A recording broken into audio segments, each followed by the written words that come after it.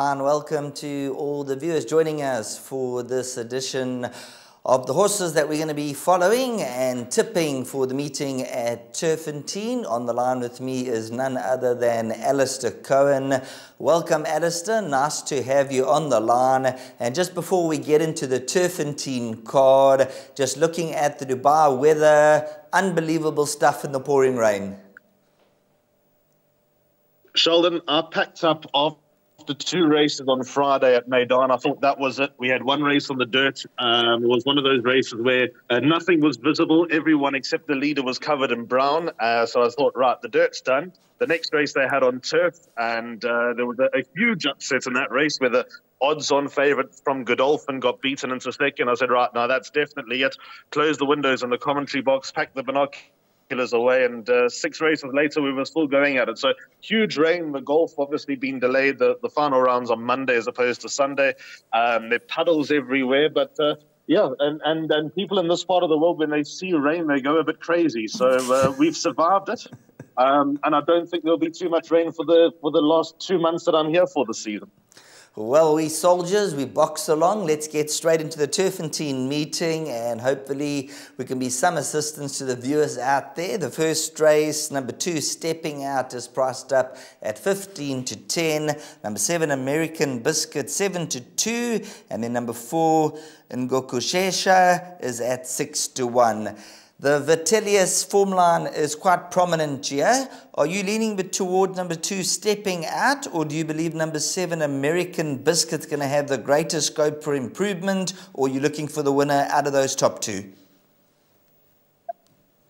Sheldon, I advised uh, a bit for the day is a bar pot, and my two numbers are two and seven. Although number two stepping out finished in front of American Biscuit first time out, I think the improvement factor that number seven American Biscuit will show could stand them in good stead. The family all have no issue going a mile, so I think number seven American Biscuit has the scope to turn it around with number two stepping out. I was very hot on stepping out last time out. I thought he could beat the hot favourite Vartilius, and he was pretty comfortably put into his place. I'd been waiting for stepping out to be gelded, and his first run as a geld Golding did yield some improvement, but but not enough for me to suggest that he's going to hit any lofty heights. So I don't think number seven American Biscuit is going to be lining up any legs of the South African Triple Crown or the Daily News 2000 or the Durban Guineas or anything like that. But with that said, I think number seven American Biscuit has scope to improve on his side. I've gone with both horses in the bar pot, and uh, I'm pretty confident that I'll double up there. Number four, Ngokushesha, I think this brings slightly weaker form lines into the picture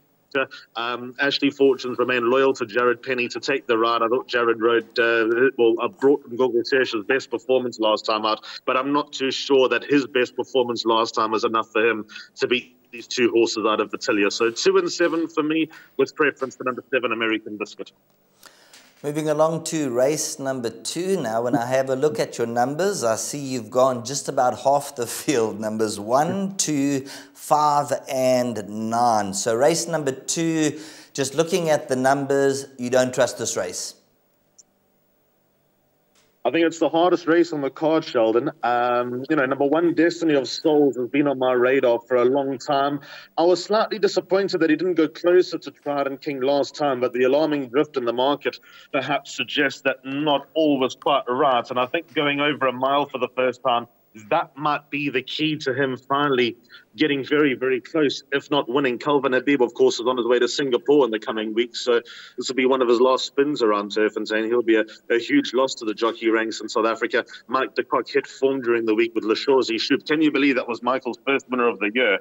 Um, so uh, hopefully the the dam walls have broken, and there'll be a lot more to come from the uh, the world renowned, world class trainer that is Mike de Kock. So I think number one, Destiny of Souls, would be a, a bit of a tentative first selection, but I think he's just about ready to go well. Number two, Prairie Falcon. I'm shocked that she's still a one-time winner. She's promised a lot more than what she's delivered. Stuart Pettigrew's yard's been in great form this season. She's run to a stable companion uh, and an anti-penultimate start, coming back from a, a pretty lengthy layoff and finished four and a half lengths behind Princess Philippa, who's continued running good races, if not winning. She's gone close. I think number two, Prairie Falcon's best level of form is the best form on offer. So that's why she's in the play. Five Lady Calavera coming back from 10 months off the racetrack was a fluent winner last time, beating Admiralty Arch, who followed up with a place at the Vaal during the week. So number five Lady Calavera on the back of that win has to be respected. And this being a classified stakes, she comes in as the best weighted horse in the race. And then number nine, time for that. When she comes well, she comes well in a big way. I don't know if you remember 18 months ago, she won twice in the space of three days. Well, she won just five days before this, and she beat Sequoia by a little less than a length. Um, so just the fact that when she's in good heart, she maintains her form. So I'm cognizant of that. She's got a little bit, bit of extra pudding to carry for her win. Her rating now up to 61. She's got 52 kilos on her back. There's number nine time for that. But she has every chance of following up if, if her, her old form and trends are to be believed. So tricky race, lots of plots at play. Next up will be race number three, and yeah, you'll be going with two runners, numbers one and four. Let's touch on number one, Supreme Dance. This is a four-time winning son of Futura. This is from the Brett Warren stable, Supreme Dance. Having a look at the highest merit rating achieved, which is a 96, would you be in agreement that would have just needed that last run? He ran like he needed his last run. He also had an awkward draw to overcome. And uh, coming out of a neat stallgate on Sunday, number one, Supreme Dances is one of those that should run well. He's the best weighted horse in the race, so he's got enough up in his favour.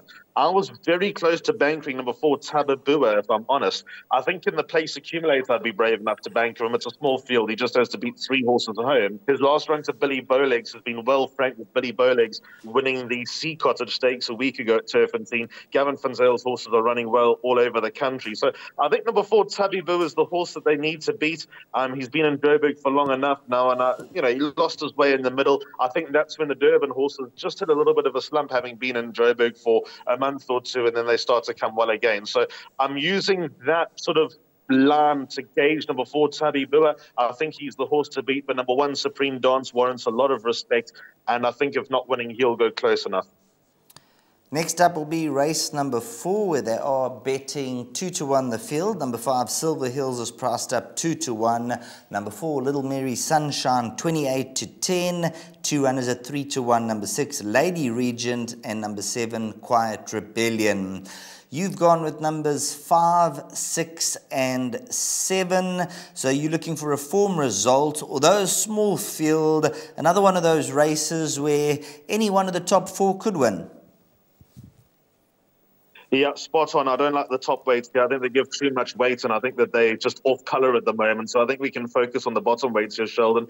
My first selection is number five, Silver Hill. She's bred to stay all day. She's going 1,800 meters for the first time. Weirdly enough, if it's not too short for her, I think she'll take all the beating. Being out of being Bar Silvano, out of Ash Cloud. Ash Cloud, I think, won or at least placed in the South African Oaks over 2,450 meters. So there's no limit to her stamina as far as the genetics are concerned. Her last run behind Terra Time was in a, a fairly strong field she was thrown in the deep end, and she she swam for most of the way. I think that run's going to do her a lot of good. I think number five, Silver Hills, is the one they all need to beat, and it will be tough for Kelvin Habib to sweat down to 53 kilos to ride, especially the day after the Met, where obviously a lot of temptation can take over after a big race day. So, so credit to Kelvin, he's showing his uh, his mettle, getting down to 53 on number five, Silver Hills. If the race comes a little bit too soon, I'm always a little bit weary um, with a horse having a third start at a fairly high level against horses that are battle hardened. Six Lady Regent gets the services of Muzi Yeni. I think Muzi will suit this daughter of Master on my fate. She's a real trier. She's unbeaten over this distance. And even though the margin of victory was only half a length over Little Mary Sunshine, she had a, she had the cards close to her chest at the line, and out of a good draw, she might just end up with the run of the race. And another horse from Stuart Pettigrew's yard who's probably delivered a little bit less than you would have expected in the Seven Quiet Rebellion, or 52 kilos, just coming in at the benchmark. She's not under sufferance here. Her last one to none other shows that she's back on the right track. And, um, you know, she's probably ripe and ready to give a, a, big performance. Five Silver Hills, my first choice, but I think that the uh, the bottom weight will dominate the opening leg of Jackpot One. Thanks very much, Alistair. There's your numbers as far as the bar pot goes and given us a great assessment there as we move on to race number five. And race number five, they are betting seven to two the fielder. As you can see, the field has been put on screen. Alistair has elected to go with two runners. I think horses four and seven you'll be looking to go with, which is October Fair, who's around seven to one, and Apache Fighter at nine to two. Firstly, let's touch on number two, Cherangoma, Alistair. This is a horse I just believe's got the raw ability to run an absolute cracker in this type of lineup. When you look at her overall form, she's got some fair runs in the bag, and I thought five to one could represent some value. Where do you put her in the pecking order, third or fourth? Sheldon, I'm tired of number two, Cherangoma, if I'm honest. I've spoken to Stuart Pettigrew countless times about the daughter of Flower Alley, and he's tearing his hair out. I know that he thinks that she is much, much better than her overall record suggests. Kabelo Matsunyane takes her out for Stuart Pettigrew. Going 1,800 metres for the first time in a while could be the catalyst to bring her along. She probably just needed that last run coming back from two months off. She was ridden from a, a bad draw, ridden to sleep.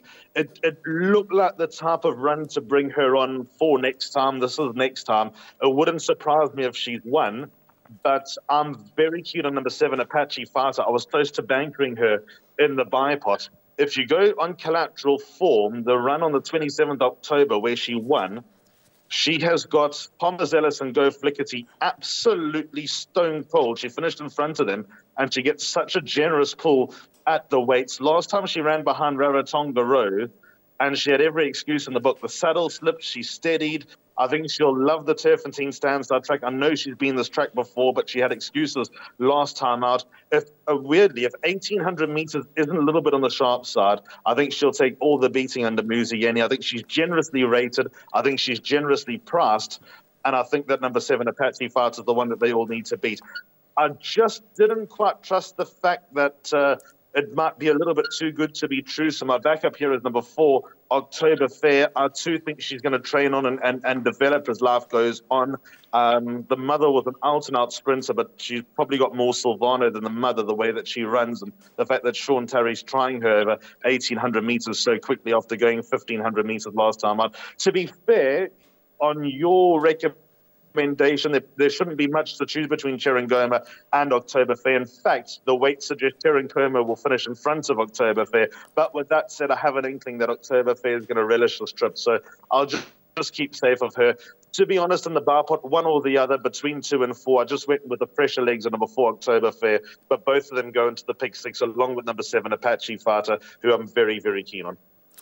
Well, there we have it, Cherangoma, one of those horses, as you mentioned. I've also been following for a while, and you mentioned Stuart Pettigrew's pulling his hair out, and I'm also one of those punters who've been watching for a while and just waiting for one of those days when the sun will shine for Cherangoma.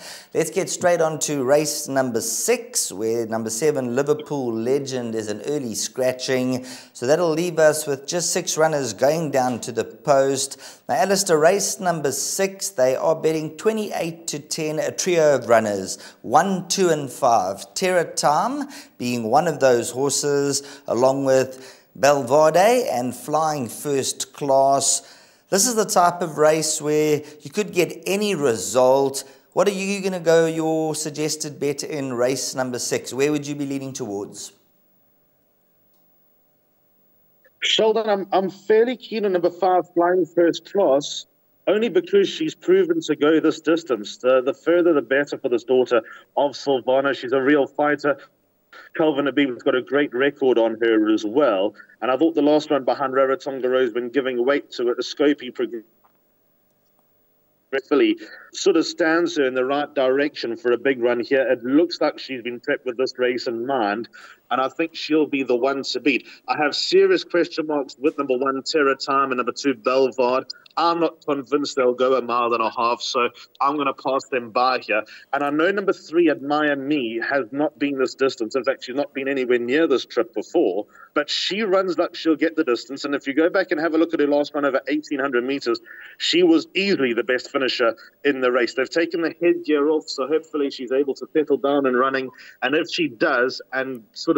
I don't know if she needs a pace to be fair, but if the races run to suit, she could be doing her best work late. Could be a bit of a masterstroke by Gavin van Zyl to get her in this 2,400 meter event. So if she goes the trip, I expect a big run from her. The only other horse I can have here is number four, Opera Glass, because she too has proven to stay. She beat Earl last time out, but Earl went off at 100 to 1, and Opera Glass went off at 25 to 1. I know that she's capable, but her form before that, I'm a little bit wary whether that run was a flash in the pan. So in the pick six, I'll put number four, Opera Glassen, but in the bar pot place accumulator, uh, swingers, and uh, exactas I might just stay away from, but certainly swingers, three and five for me.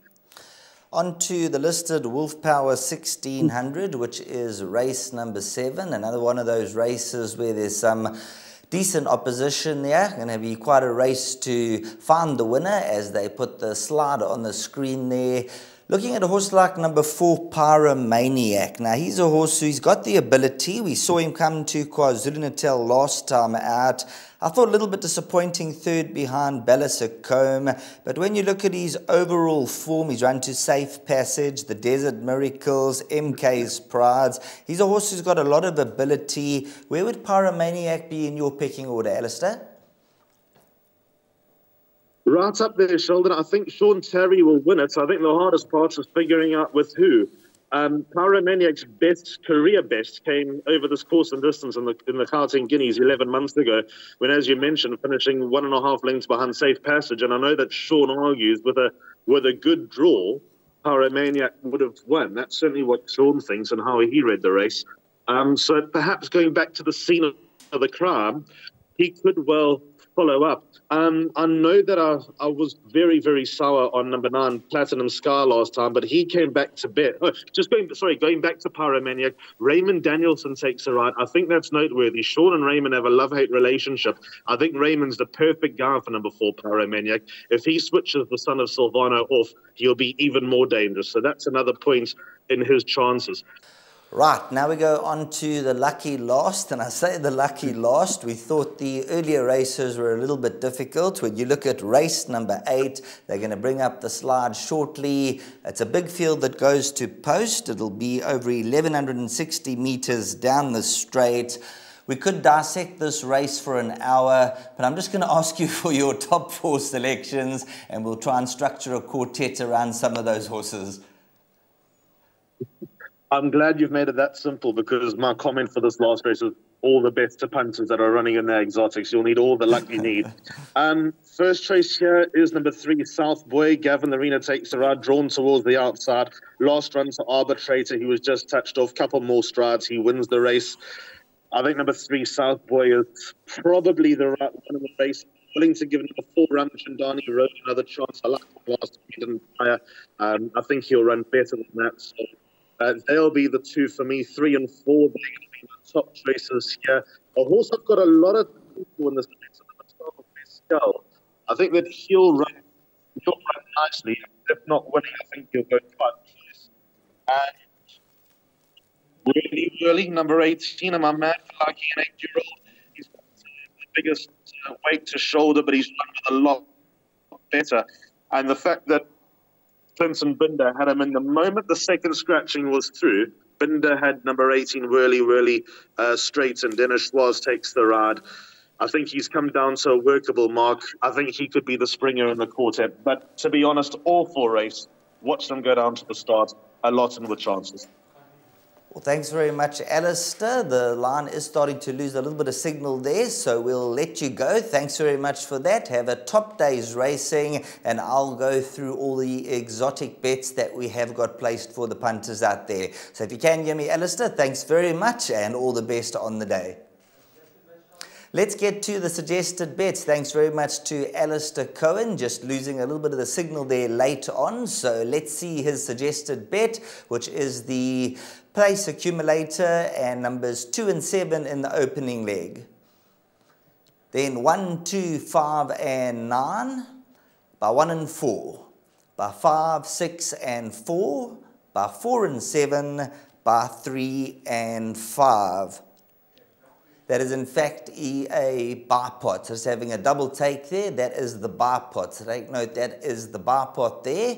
There's Alistair Cohen's suggested bets for the day. As far as my bet goes, it will be a bar pot, and I'll be leaning with a small perm on the day. I'll be going with numbers two as a banker in the opening leg, followed by numbers one and three. I'm then going to bank a horse number four. Next leg, numbers three and four by numbers 2, 7 and 9 and the final leg numbers 1 and 5. That's as far as the bar pot bet goes. That's a look at the meeting at Turffontein. It's going to be one of those meetings and let's hope everything goes according to plan. And of course after Saturday's big race meeting, a lot of the guys will be waking up later on the Sunday and hopefully a lot richer and they can then invest into the Sunday meeting. All the best. Have a wonderful day's racing.